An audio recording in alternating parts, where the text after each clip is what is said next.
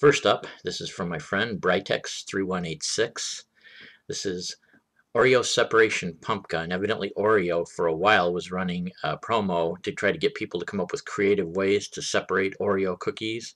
And this guy came up with uh, quite an elaborate Oreo gun. I would call it like more like a disc gun because you could use it for more than just Oreos. But it had a top-loading magazine that actually you could put the Oreos into, and then it had a pump mechanism. And I mean, it was as sophisticated as any kind of a, a regular gun, even though it was made out of wood.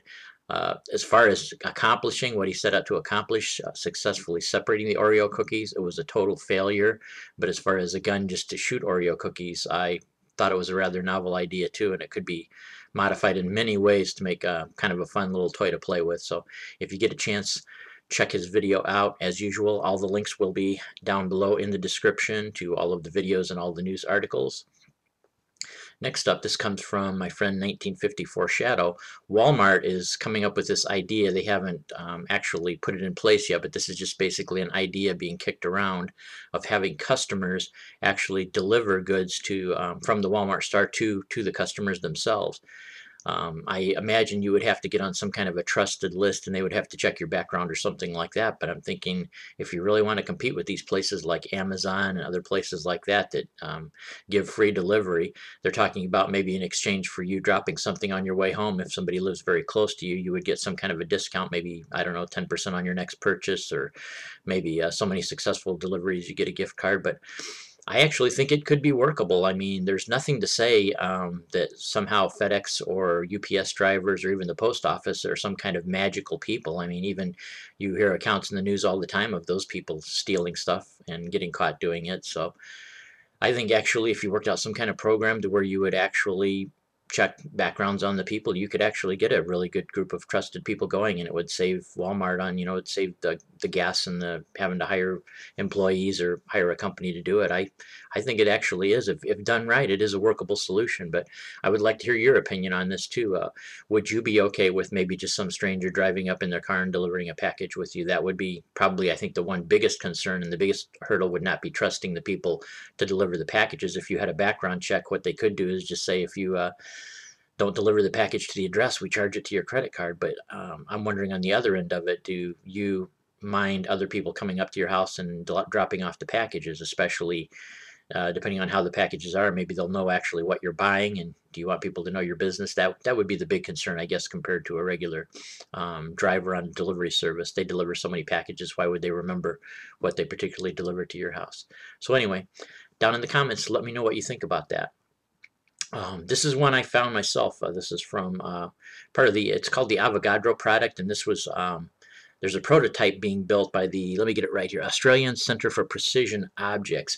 What it is actually is it's supposedly the world's roundest sphere. In fact, the sphere is so round that if it was raised to the size of the Earth, the largest mountain peak would be like 2.4 meters high. And the purpose of this is to get a reproducible way to produce a, a true kilogram weight. Now, if any of you, you know, if you're kind of geeky, you probably know the fact that the, the kilogram weight is an actual object that is kept um, in a little town within Paris by the um, uh, what is it called? The International Standards Committee I think or something like that.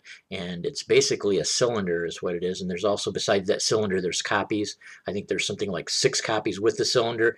And then every major world government is given a copy too. In fact I think the United States is given two copies. We have two copies of the International Standard for the kilogram.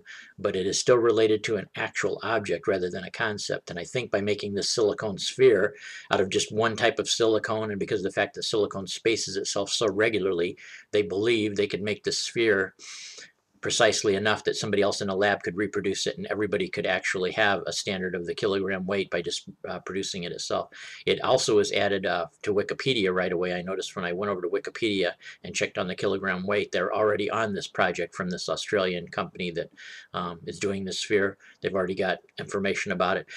just to let you know the problem with these uh, international standards being something like a cylinder, even if it's made out of something like platinum iridium or something like that, is they tend to drift over time. And what you can do is you can compare it to the other copies you made, and you take the copies, like our United States copy every so often goes back to the standards committee, and they weigh and compare. And some of the copies are actually either gaining or losing weight. And in some cases they know why, but in some cases they have no idea why they're gaining or losing weight compared to the other standards. So if we could get an independent standard that's reproducible in any major laboratory, that would kind of be a breakthrough. But anyway, if you get a chance, check out this video. This guy actually gets to touch it and handle it.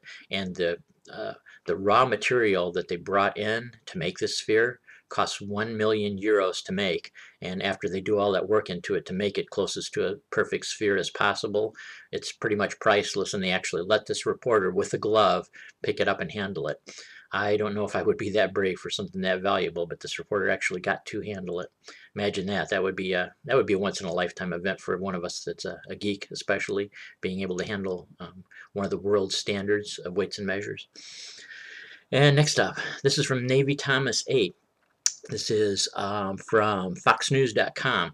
They found another type of supernova, and this one is called a 1 AX supernova. Now, I've talked about before about type 2 supernovas. I think even a little bit about type 1 supernovas. The thing that makes this different isn't some of your typical supernovas that are similar to this you have a dwarf star that is sucking the hydrogen off of a companion star.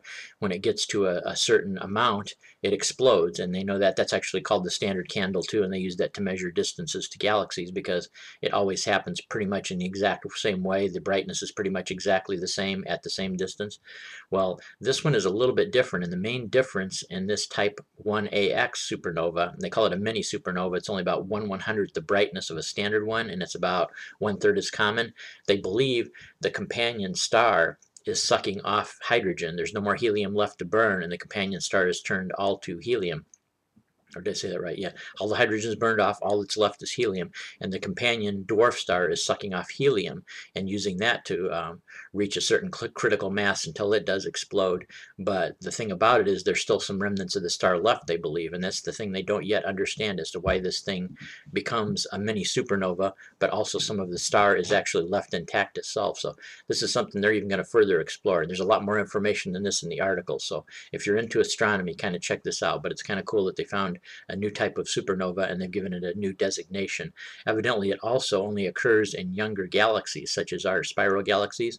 They've yet to ever see one in an elliptical galaxy, which are the older ones. So for some reason, this just tends to happen um, in uh, newer galaxies for some reason.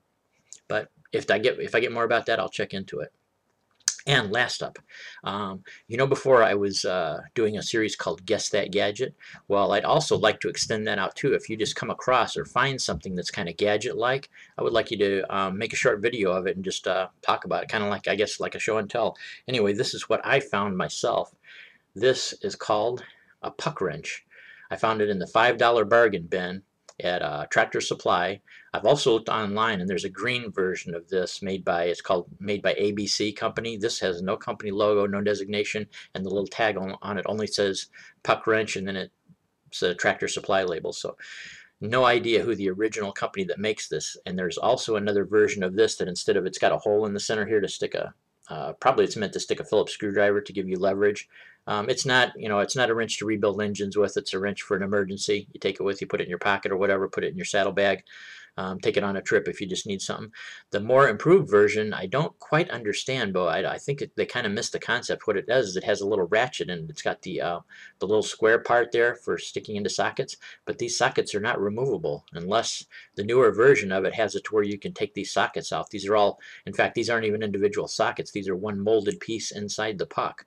So putting a ratchet on it, I guess possibly so you could bring other sockets along and use them, but then if you're going to bring a socket set, then do you really need this? I mean, the purpose of this is so that you don't need to carry along a whole socket set and can just get by with something. So the improved version, I don't quite understand, but if you get a chance and you have a tractor supply near you, um, look in the $5 bargain bin, and you might find something like this. And as usual, if you have a gadget of your own that, you know, even if it's something obvious that somebody would know, but you just think it's a cool gadget, send me the video. I would really like to put it on TDD report. So anyway, that was it for this week. You guys take care. I will catch you next week.